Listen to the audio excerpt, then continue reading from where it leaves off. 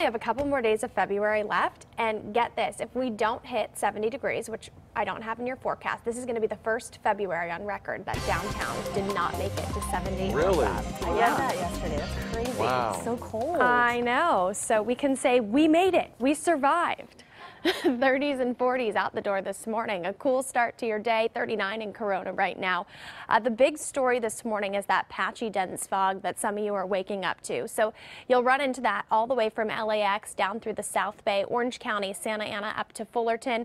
You're seeing that patchy dense fog this morning. Ventura County, you're fine. The Inland Empire, you're fine as well. Also seeing some of that around the Riverside area. I can't even tell you which camera that is because I can't see anything because of the fog. I'm going to guess it's your Long Beach camera. Yep, it is your Long Beach camera.